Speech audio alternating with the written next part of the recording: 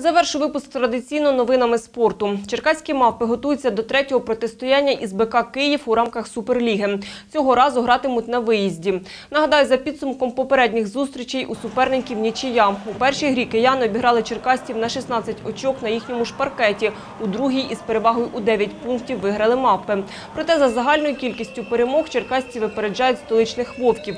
Підопічні Михельсона закріпилися на третій сходинці турнірки. Натомість кияни замикають п'ятірку лідерів чемпіонату. Підтримати свою команду у принциповому протистоянні до столиці поїдуть черкаські вболівальники. Усім решті наш телеканал пропонує переглянути гру у прямому ефірі. Вмикайте вікку у суботу, 7 лютого о 16.30.